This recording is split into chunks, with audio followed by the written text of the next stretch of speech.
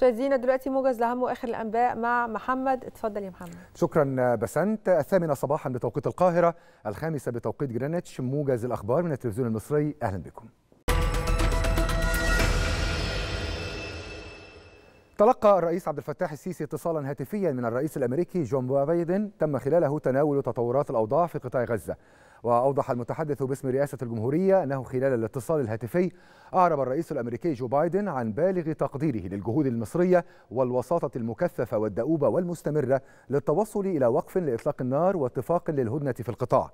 كما صرح متحدث الرئاسة بأنه تم الاتفاق على ضرورة تكثيف الجهود الدولية لإنجاح مسار التفاوض وتحقيق انفجارة تنهي المأساة الإنسانية التي يعيشها الشعب الفلسطيني. في السياق ذاته بحث الرئيسان السيسي وبايدن الموقف الإنساني الصعب للفلسطينيين في قطاع غزة وانعدام سبل الحياة بالقطاع وعدم توافر الوقود اللازم والمخابز. كما أضاف المتحدث الرسمي أن الرئيسين اتفقا على دفع كميات كبيرة من المساعدات الإنسانية والوقود لتسليمها إلى الأمم المتحدة في معبر كرم أبو سالم وذلك بصورة مؤقتة لحين التوصل إلى آلية قانونية لإعادة تشغيل معبر رفح من الجانب الفلسطيني. كما تضمن الاتصال تأكيد ضرورة تضافر المساعي المختلفة لإنفاذ حل الدولتين وفقا لقرارات الشرعية الدولية فضلا عن تأكيد الرئيسين رفضهما لكافة محاولات تهجير الفلسطينيين خارج أرضهم ودعمهما لكل السبل الهادفة لمنع تفاقم وتوسيع الصراع.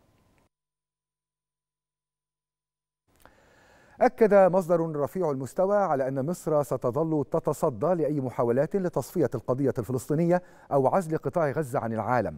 وشدد المصدر رفيع المستوى على أن معبر رفح هو معبر مصري فلسطيني مضيفا أن مصر ستعيد إدخال المساعدات من خلال آلية يتم الاتفاق عليها بالتنسيق مع السلطة الفلسطينية.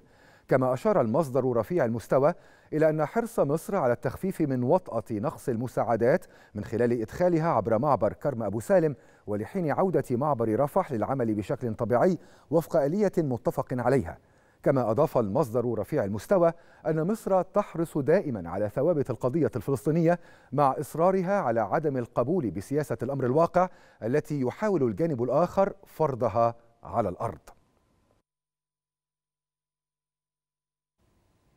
إلى ذلك رحبت مصر بالقرار الصادر عن محكمة العدل الدولية بفرض تدابير مؤقتة إضافية على إسرائيل لحثها على الوقف الفوري للعملية العسكرية وأية إجراءات أخرى بمدينة رفح الفلسطينية من شأنها فرض ظروف معيشية على الفلسطينيين في قطاع غزة تهدد بقائهم كليا أو جزئيا.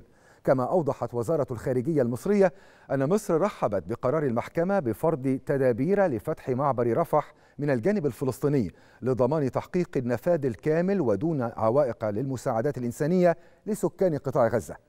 كما رحبت مصر في بيان صادر عن الخارجية بتأكيد المحكمة على ضرورة تنفيذ التدابير السابقة الصادرة عنها بما فيها فتح جميع المعابر البرية بين إسرائيل وقطاع غزة. التقى وزير الخارجية سامح شكري ووزراء خارجية كل من قطر والأردن والسعودية الرئيس الفرنسي إيمانويل ماكرون في العاصمة الفرنسية باريس.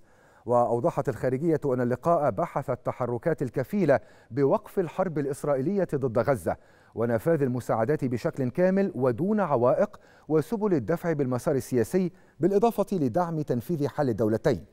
تأتي زيارة شكري ونظراؤه العرب في إطار حرص الجانب الفرنسي على التواصل والتنسيق المستمر مع الوزراء العرب لدفع نحو وقف إطلاق النار داخل قطاع غزة. دعا مجلس الأمن الدولي جميع الدول إلى احترام وحماية عمال الإغاثة وموظفي الأمم المتحدة وندد بشدة بجميع أعمال العنف ضدهم والحرمان غير القانوني من وصول المساعدات الإنسانية. هذا وقد تبنى المجلس المؤلف من 15 عضوا مشروع قرار صاغته سويسرا بأغلبية 14 صوتا مؤيدا بينما امتنعت روسيا عن التصويت. وتم تبني مشروع القرار الذي لم يشر إلى أي صراعات محددة وذلك بعد نحو ثمانية أشهر من الحرب الدائرة في غزة. حيث أكدت الأمم المتحدة أن أكثر من 250 من العاملين في المجال الإنساني قتلوا خلالها. أعلنت الولايات المتحدة عن دفعة جديدة من المساعدات العسكرية لأوكرانيا تشمل ذخيرة وصواريخ وألغاما وقذائف مدفعية في وقت تواصل فيه روسيا هجومها على منطقة خاركيف. وقال وزير الخارجية الأمريكي أنتوني بلينكن إن الولايات المتحدة تعلن إرسال كمية جديدة وكبيرة من الأسلحة والمعدات لأوكرانيا لدعم الشعب الأوكراني في دفاعه عن بلاده. مشيرا إلى أن هذه الحزمة البالغة قيمتها حوالي 275 مليون دولار تعد جزءا من جهود واشنطن لمساعدة أوكرانيا على صد الهجوم الروسي قرب خاركيف كما تحتوي حزمة الأسلحة على قدرات هناك حاجة ماسة إليها. رياضيا يلتقي الفريق الأول لكرة القدم بالنادي الأهلي اليوم مع الترجي التونسي في إياب نهائي دوري أبطال إفريقيا المحدد لها الثامنة مساء على استاد القاهرة. هذا وقد اختتم الأهلي تدريباته على استاد القاهرة الدولي ضمن الاستعدادات للمباراة وحرص المدير الفني مارسيل كولر على عقد اجتماع مع اللاعبين للحديث عن بعض النقاط الفنية. كان الأهلي قد تعادل مع الترجي سلبيا في لقاء الذهاب الذي أقيم الأسبوع الماضي على استاد حماد العقربي في رادس.